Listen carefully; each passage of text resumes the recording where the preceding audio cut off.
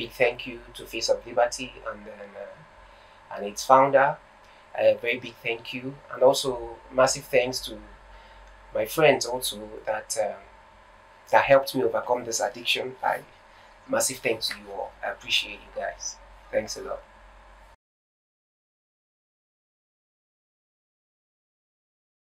I go by the name uh, Joseph Fidelis NwaChuKwu. Uh, I'm also known as Pope. Yeah, people call me Pope. I'm a content creator, I'm a script writer, I'm a movie writer as well, and uh, I I also do laundry, and then I'm a, I'm a, I'm a comedian. Yeah, I can make you laugh a whole lot. Um, talking about growing up, I, it wasn't really very easy. It wasn't really very easy at all. Okay, I grew up in a family of um, five actually, and then uh, in the long run, I lost my parents. I was actually the second to the last child of the family, so I lost my parents, and then at uh, at a very early age, then I had to I had to go for houseboy. So it wasn't really easy, but uh, we thank God we pulled through, and then yeah, we are here. We are here. I was seven. I was seven actually. Yeah, seven exactly when I went to do the houseboy, houseboy thing and all that. So uh, it wasn't really easy. I I was really exposed to a whole lot. Uh, my madams, my bosses, the beating and all that. I could even recall the day I was meant to to kneel in front of the road. Yeah. I raised my hand up and I closed my eyes. I was kneeling in front of the road there. So that and then the rest of it, uh, it wasn't really easy. But we thank God uh, we pulled through and then yeah, we are here. Not that we have arrived though, but uh, we thank God. We're still moving. Okay, actually, I started drinking uh, when I was seven. Yeah, that is when I, that, that's that's exactly what I mean when I say I was exposed to a lot. I drank my first beer at the age of seven years. I think I smoked. Yeah, I smoked for the first time at the age of nine. Then, yeah, at the age of nine, so I was exposed to a lot. I started drinking. I I drank, and then I noticed that uh, when I got a little bit high, I uh, I was able to do some things, a lot of things faster than normal. So I I kept it up, and then uh, my madam do sell drinks too. So uh, I would, most times in the shop I always uh, try it, like try it when when people are taking I do take too. So I I started drinking from there, and then started getting into me, getting into me till I became an adult. Yeah. Alcohol is not really a good one.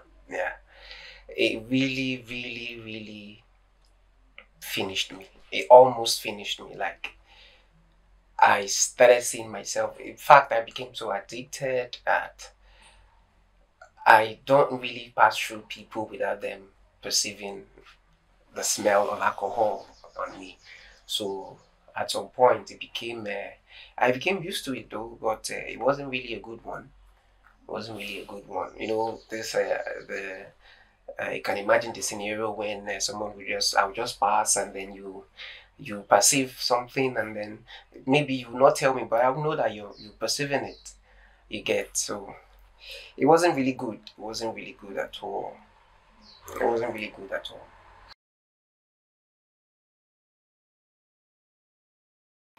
Okay. I learned laundry when during my the period when I was still serving my boss when I was doing the houseboy too. So I was made I was made to wash a lot, and then from washing I I was uh, taught how to separate clothes, how to wash clothes, the, the way to dry clean. Like the clothes to be dry, you don't need to put it inside the water. You just clean it like that, and then how to iron some clothes, how to fold them, and all that. So uh, yeah, I think I was thirteen then. I was 13 when I was being taught all that. So from there, I I started uh, doing it, and then here I am. Okay. Um. Yeah. Yeah. Yeah. When I say it almost finished me, all my earnings, everything was going to. Not that I was really making a lot. I wasn't really making a lot, but the little I had was going to alcohol. Yeah, there are some times when I will see it, people will buy for me and all that, but the one I buy with my money is uh, is always more than the ones they buy for me. You understand? So all my earnings was really, really, really going on on alcohol. Like I can't just sit. I can have a 500 naira in my pocket and then I can I can spend only 100 naira on food. The rest will be for alcohol. So it was really really taking a lot from me. Like I I wasn't really able to save. Like all the money I'm getting is alcohol, everything. Yeah, so that's it. Okay, I started properly uh, in the year 2020. I started it at home. I was. Uh, I started at home. I had uh, some couple of people that do call me to come and uh, iron their clothes and all that. So I was. I said to myself at some point, this is what I'm very good at. So even if I can, if I can at least add it to a side hustle, it will be, yeah, it will be okay for me. So so I started it. I started telling people I do laundry. I started picking the materials. I bought my iron and all that, uh, my ironing table at home there. So basically, I started properly in the year 2020. Yes, it was. It was. You know, I um, then I I had uh, my machine was bad. My machine was bad, and then some other things that uh, were associated with it too. So uh, there was um, there was no really there was no money to repair them. Like I said earlier, the little ones I would get will still be going to the alcohol. So it kind of I I closed up because I wasn't really I didn't see the money to repair my machine. So that was when I would say I became a full time addicted alcoholic. Okay, um, what triggered me to come back or what pulled me back? Uh, yeah. Basically, friends. Yeah, yeah, friends. I used to be this kind of person that uh, I I am very very nonchalant. Like I don't I don't care. I don't care. If I do my thing because I love to do it. So I don't care what people say actually around me. But this particular time I had to give in to what people were saying because it was really, really affecting me. You know, I had to sit down, I had to ask myself, is this really the way forward? Like how how how am I going to how is it going to is it is it this road I'm going through is it actually the, the best? So I had to ask myself that questions and, and I have friends too that uh, you know that were always on my neck like oh god no no no no no drinking today no drinking today and all that. Uh, even if I take there was this particular period when uh, a friend of mine had to had to pour away the drink I was uh, I already poured it to drink, so he, he poured it away. Because, yeah, yeah, yeah. That, that's uh, that's very okay. I I didn't really regret what he did. So friends, yeah, friends helped me out, talked to me, and then yeah, talked a really sense into me, and then now, not that I've actually stopped, but I can control it now. Not uh, like when he was controlling me, I will have money, pay alcohol, I'll have money, alcohol. But right now, I can. Uh, I am I'm bold to say that I can control. I can tell myself, my friend, no drinking today. Uh, let's wait till next time. You know that. Yeah, actually, I I would say, no matter what, always surround yourself with good people, good friends.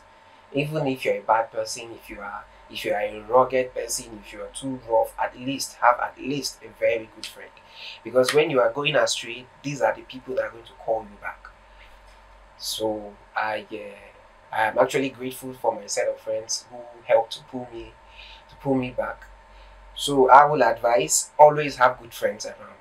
Always have good friends around. And then sometimes take a time, take a day off, take a minute off, an hour off, sit down and ask yourself questions you know, actually, there are some times when the the the the uh, uh, what what how am I going to say it?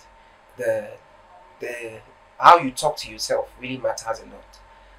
You understand? So take some time, sit, ask yourself questions what am i doing how am i going to achieve this is this really the best way for me and all that and then with the help of god and then friends around yeah you can actually you can actually make it yeah if i could you can um, i want to say a very big thank you to face of liberty and then uh, and its founder a very big thank you and also massive thanks to my friends also that um, that helped me overcome this addiction. I massive thanks to you all. I appreciate you guys. Thanks a lot.